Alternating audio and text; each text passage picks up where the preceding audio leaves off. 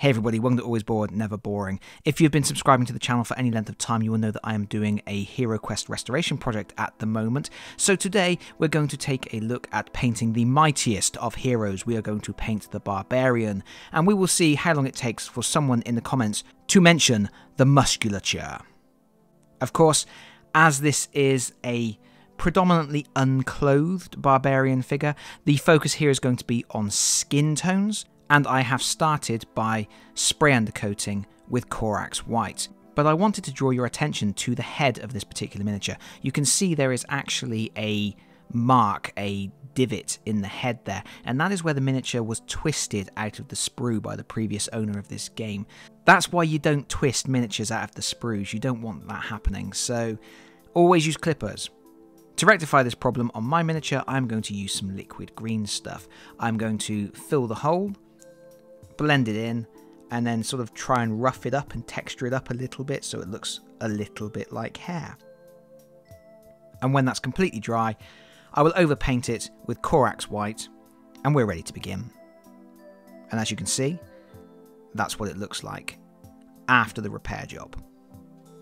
For the skin, we're starting with Bugman's Glow. I want this barbarian to look tanned, quite dark skinned, so I'm going to use a technique here that I have used quite a bit with skin tones and I like this particular technique because you can keep layering it up as much as you want to, using as many layers as you feel is necessary and going as bright as you want with it. As I want quite a tanned barbarian and I don't want to spend too long on this particular painting job, I'm only going to do a couple of layers, but you can keep adding to this and the more layers you add, the more detail and more definition and the better the miniature will look.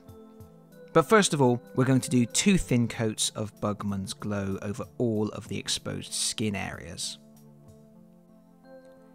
And when that's completely dry, we're going to apply Reikland Flesh Shade over all of those skin tones. You don't want to use a lot of flesh tone here.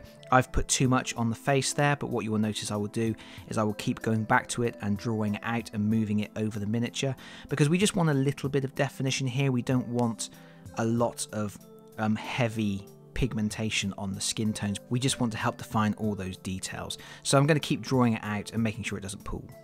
When it's dry, I'm going to use a mix of Bugman's Glow and Cadian Flesh Tone to start picking out the details. And this mix is about 60% Bugman's Glow, 40% Cadian Flesh Tone. Uh, you can start with a slightly darker mix if you want, but that's up to you. And what you'll see I'm doing here is I am just going over all of the most raised parts of the skin and picking them out with that slightly lighter colour. And I will go all around all of the details in this way. And really, you can do just one of these if you want to, if you want it to be really dark. I'm going to do another layer of colour over the top of this. But you can see that's what it looks like after the first application. What I'm doing now is a second coat, and this time I am mixing. It's a about 60-40 again, but the other way around. So it's about 60% Cadian Flesh Tone, 40% Bugman's Glow.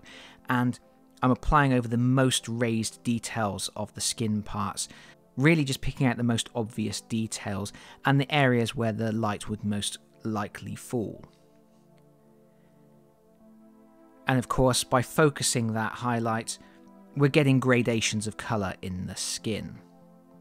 And as I mentioned before, you can then do another layer if you want and another, going brighter and brighter, but I am fine with it like that. So I'm going to move on now to the hair, and I'm using black for the hair, and black's difficult to paint because you can't really shade it. So what I'm doing is I'm going to apply a base coat of Abaddon Black over the whole thing. Of course, we want to be careful not to get any on the skin because the skin is completely done at this point, so be a little bit careful with that, but it doesn't matter if we get it over any other parts of the miniature. They're going to get painted afterwards. So I'm being very careful here. And once we have a solid application of Abaddon Black, I'm switching to Eshin Grey, but you can use any dark grey, and it does need to be a dark grey. And I'm using a thin brush, and I am just picking out the most raised areas of the hair. Again, just sort of focusing where light would naturally fall, trying to get some sense of the definition and the fibres of the hair.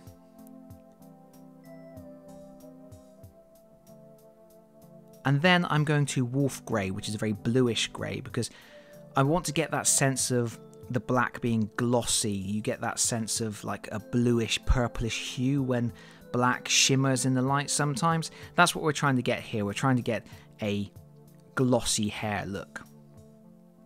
And you can see that on the top here, I'm just very, very lightly, very gently picking out some lines just to add that sense of definition and highlighting.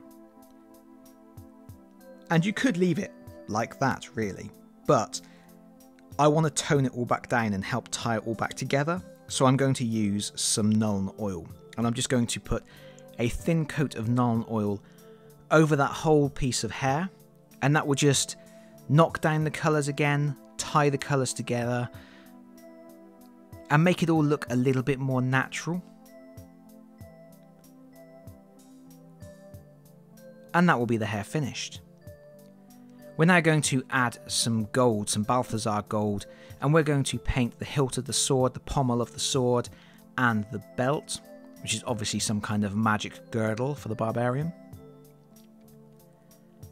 And this is just to get a, a slightly brighter, shining colour onto the miniature, really.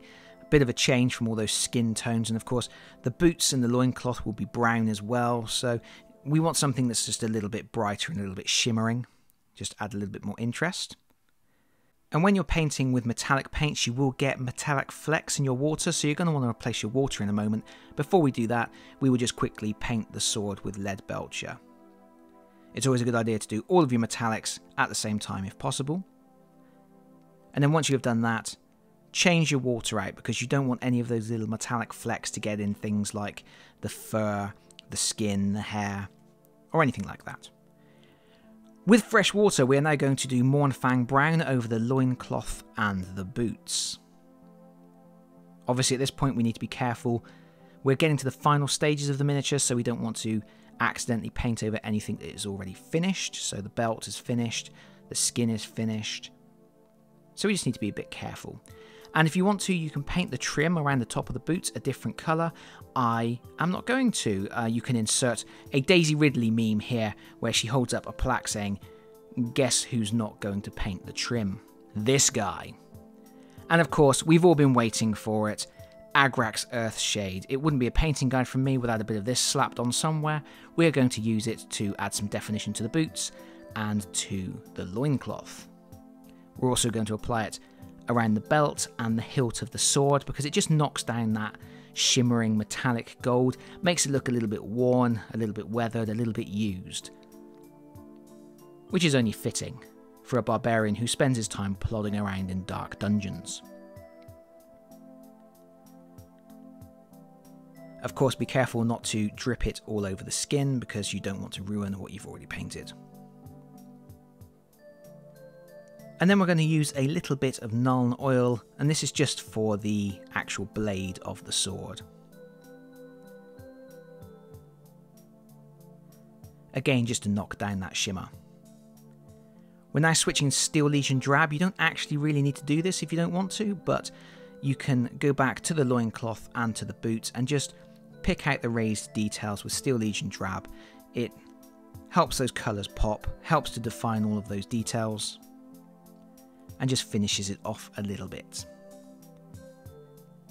We're now switching to Stormhost Silver and I'm going to do an edge highlight on the sharp bits of the blade. So I'm using the side of my brush here and I'm just running it up those straight edges to add a little bit of shimmer. And then once I've done that, what I will also do is working from the top of the sword on the flat sides, I'm just going to run the brush slightly down and feather it out into the uh, Leadbelcher and Nuln oil. So the top of the blade is shimmering and it slowly transitions to the darker metal. Now, the last thing, we have to do the eyes.